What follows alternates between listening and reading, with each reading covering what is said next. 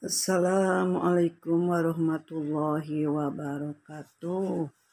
Semoga yang menonton channel Herawati Ripandenya pada sehat-sehat. Yang sakit disembuhkan, yang kena musibah dan ujian semoga Allah cepat mengangkat dari semuanya ya. Hasbunallah wa ni'mal wakil, ni'mal maula wa ni'man nasyir.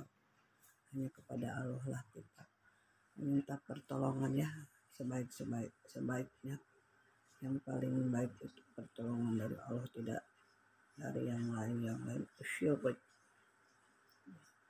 mungkin karena bunda kan sudah dasar tampil eh, sekarang mau menerangkan tentang kebaya.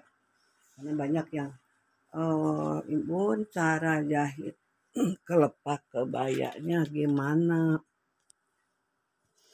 Kalau udah kita bikin pola Bunda ada ya cara motong pola kebaya waktu uh, silahkan Teh Harawati Ripandi ada cara motong kebaya uh, uh, kebetulan ada murid ya kemarin praktek.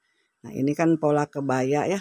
Nah ini pola kebaya. Jadi kalau kita mau ini untuk kelepak ini uh, kita bikin lebihin dilipat 12 cm.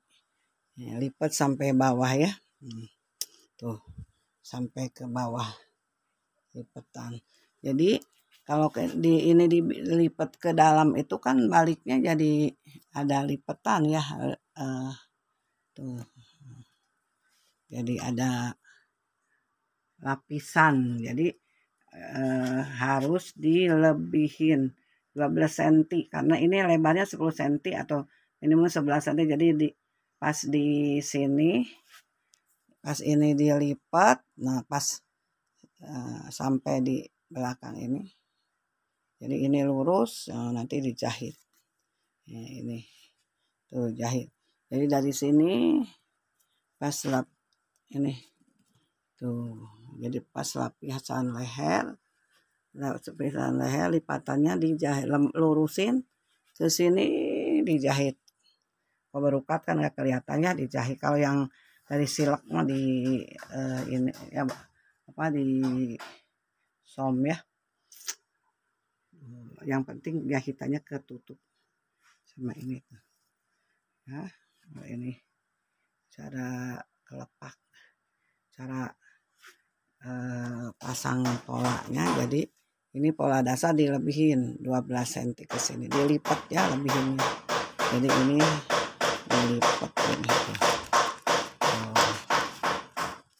jadi dilipat ya. Bunda ada contoh ya. Cari ada contoh kemarin murid ya praktek kebaya tuh.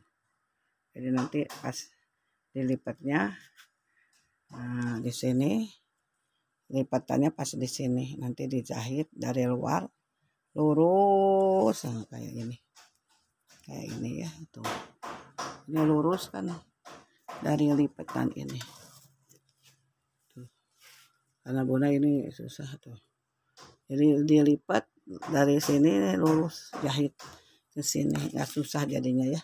Kalau dipasin dilebihinnya 12 cm jadi nggak susah dari sini. Nanti benar karena uh, ini belakang. Tuh lipatan belakangnya. Tuh lipatan belakangnya sampai sini dijahit lurus. Tuh ya kalau jadi nah ini. Jadi lurus ke sini jadi sampai ke bawah. So, jadi eh, nanti dikasih nah, lidah untuk dalam. Sekitar ya mau 4 cm 3 cm ya. Nah, sampai panggul kedua.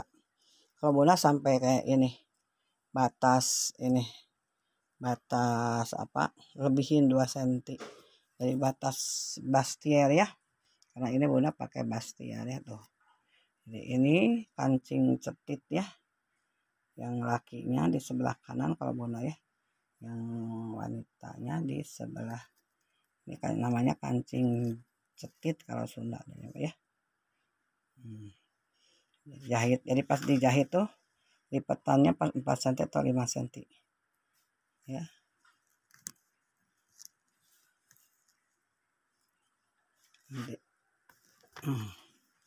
tuh. Nah, jahitnya gini aja. Guna apa kukunya kuning udah masak ya. Tuh ya. Nah, jahitnya sini aja. Jahit jahit nah, sini. Nanti dibalik tuh kan balik rapi ini kebalik ke sini ya. Nah, bunda ini 5 cm dilebihnya kan eh, kelepaknya 5 cm ini sampai di sini bos. Cablaknya. Dari leher ukur aja ya bebas ya. panjang kelepaknya dari sini dada sampai ke bawah. Bastier ya. Lebihin dari bastier begitu ya. E, untuk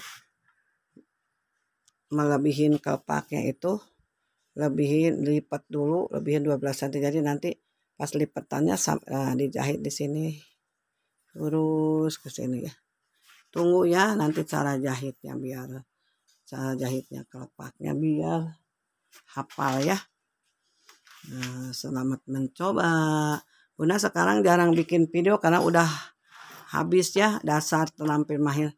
Jadi uh, mengulang aja uh, untuk terampil kebaya tuh uh, dicatat aja ya. Assalamualaikum warahmatullahi wabarakatuh.